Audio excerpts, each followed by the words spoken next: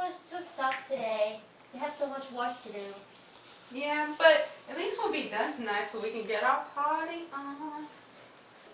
You know what, Amber? It looks so greasy. Can you stop putting lotion on all day?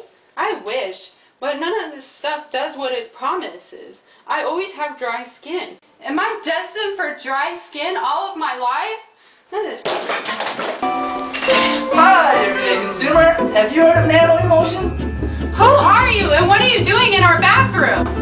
Nanoemulsions are the new thing in lotion that keeps your skin moisturized. I'm a call the police. But Nanoemulsions are very fine oil and water dispersions. How?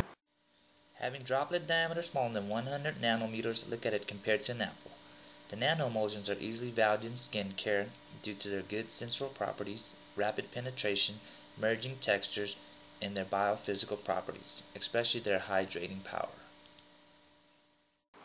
That sounds good and well, but you gotta. No, no, no, no, no, no, no. I want to hear more.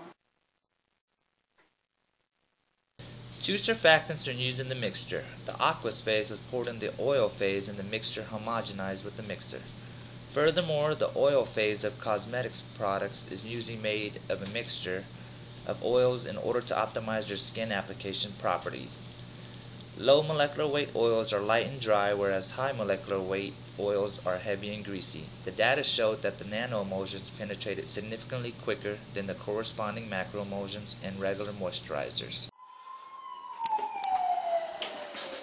Hmm, finally the cops are here.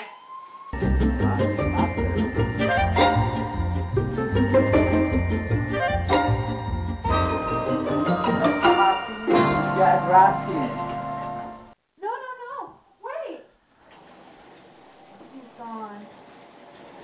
Wait. He's gone.